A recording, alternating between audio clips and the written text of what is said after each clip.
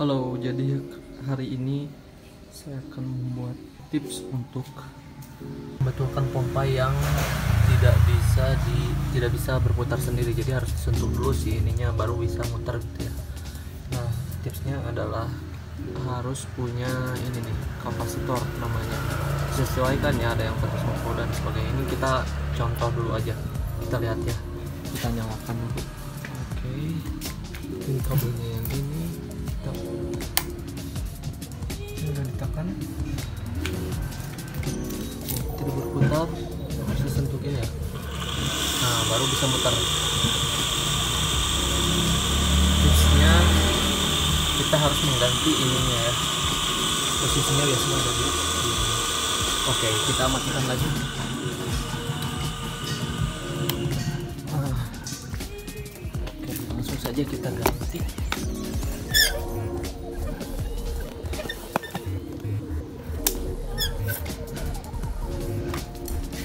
sediakan juga obeng, entah itu obeng yang plus atau minus ya. Pastikan dicabut dulu ya. Setelah dicabut, insya Allah aman.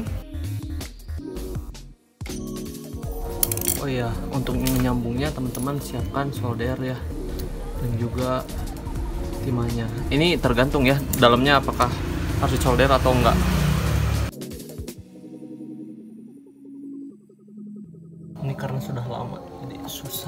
Susah dibukanya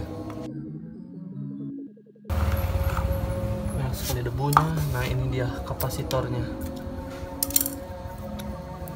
Teman-teman bisa lihat ini ya. Ih. bisa lihat ini ya.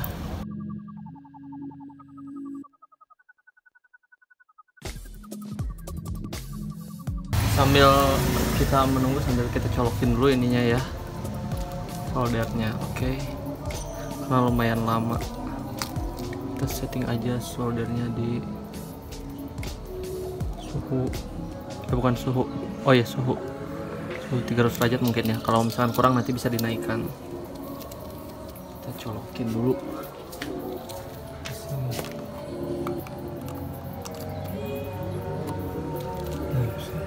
Nah, kita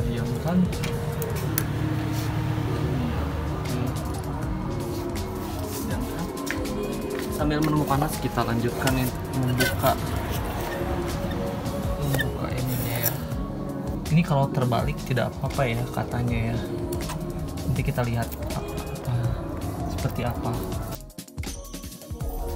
Di sini voltasenya 240 volt. Jadi gini teman-teman ini sangat penting sekali ya. Eh, jadi tadi in, eh, nah ini ya ini yang aslinya yang rusak. Ini belakangnya udah kelihatan ya udah menggelembung. Perlu diingat juga ini ini mikro 8 mikro. Ini teman-teman tidak boleh tidak boleh berbeda. 4 mikro ya ini ya. Jadi teman-teman ini ini yang baru. Tapi saya salah beli. Ini 4 mikro. Nah harusnya yang sama seperti ini 8 mikro ya. 8 mikro. Untuk voltasenya ini 450 volt tapi katanya sih tidak apa-apa ini kan 250 volt yang, kanan 250 volt tapi yang kiri ini 450 untuk voltasenya tidak apa-apa melainkan mikronya yang harus sama gitu. Oke kita langsung saja install ya. Kita langsung saja pasang di sana. Kita coba dulu ini pakai tang ya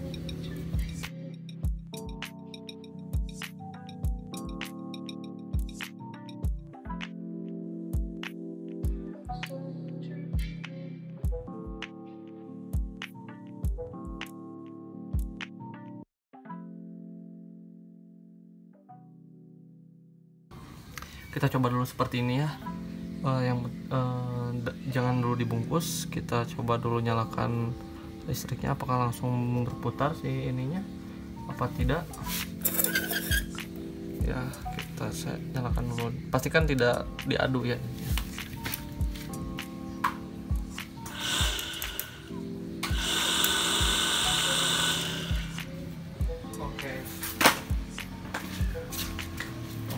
teman-teman itu sudah menyala langsung ya jadi tidak harus disentuh lagi ya. Jadi pengaruhnya adalah ini nih. Oke setelah seperti ini kita langsung saja solder ininya ya. Si tembaganya.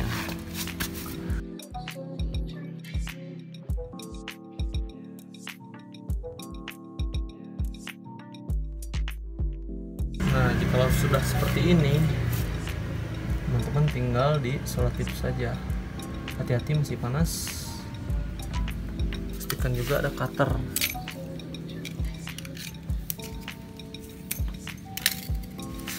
Karena ini kan pompa air jadi akan sangat rawan jika terkena air. Seperti ini fungsinya ini agar tidak diadu ya harusnya dengan yang antara yang merah dengan yang putih ini berlaku untuk pompa yang ada ininya ya ada. Teman-teman sebelum beli dipastikan cek dulu ya ininya. Sebelum beli kapasitornya pastikan dibuka dibongkar dulu dicek dulu apakah mikronya sama apakah berbeda apakah 8 mikro apakah 4 mikro. Untuk volta, voltase itu disarankan yang lebih tinggi ya jangan sampai lebih rendah. Misalkan voltasenya yang tadi kan saya 250 yang sekarang 450 jangan sampai salah beli ya. Ini saya sambil baca-baca artikel juga. Saya sebetulnya basicnya bukan teknisi tapi ini hal-hal seperti ini sangat urgensi. Karena ketika malam-malam seperti ini ini saya malam-malam tiba-tiba mati mati pompa mati kan akan sangat susah. Nah seperti ini. Ini alangkah baiknya kita panasin menggunakan dibakar ya menggunakan ini menggunakan korek api bensin yang kecil dibakar supaya apa supaya lebih nempel lagi. Tapi di sini saya tidak punya. Jadi langsung saja kita tempel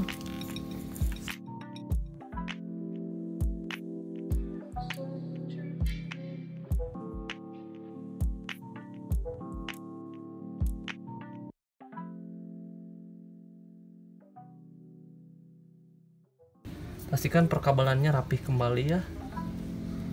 Karena sangat rawan sekali jangan sampai ada yang bocor. Kita tutup lagi.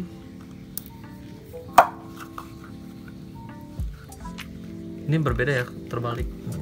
Ada yang ukurannya besar ada yang kecil. Nah seperti ini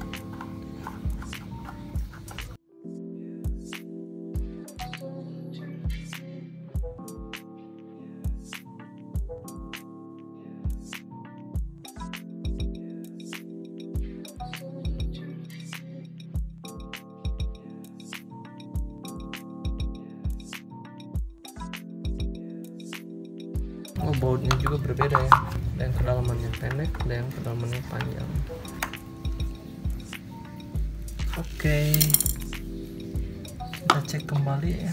Ini ini sisanya ya. Udah udah, ini nih mengembung seperti ini. Kelihatan ya mengembung. Ini berbahaya. Kita cek kembali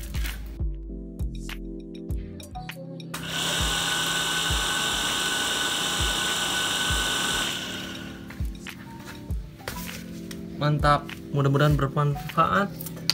Silahkan di like comment dan subscribe channel saya. Saya bukan teknisi tapi kita harus bisa sebagai seorang laki-laki.